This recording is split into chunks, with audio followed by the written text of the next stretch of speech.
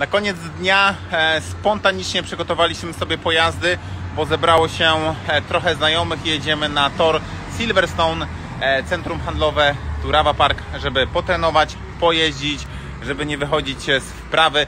Wykorzystujemy świetną pogodę, jest praktycznie 26-28 stopni. Z tej strony przypomnę o treningu e, niedzielnym od 9 do 11 na torze kartingowym K1 Opole. To będzie debiut e, w tym sezonie 2023-2024. Jeżdżenie na hali. Tor ta K1 jest jakby łączony, czyli mamy i halę i tor na zewnątrz. E, Ale coś nie mam zgłoszeń. Pisałem e, posta wydarzeniu na fanpage'u Pitbike Husator, czy zgłaszaliście się na trening, bo ja żadnego zgłoszenia nie dostałem. Teraz dajcie mi znać, czy po prostu na chwilę obecną nie ma jeszcze chętnych, czy e, rzeczywiście ten e, formularz mi jeszcze nie działa. Więc obserwujcie, myślę, że będzie bardzo fajny materiał.